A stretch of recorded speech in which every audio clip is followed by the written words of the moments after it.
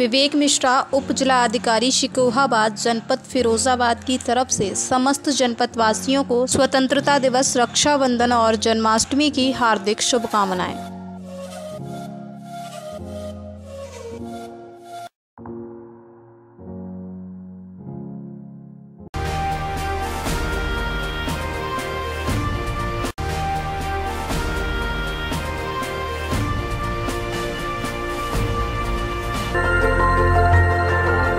देखते रहिए डीबी भारती समाचार नज़र हर खबर पर।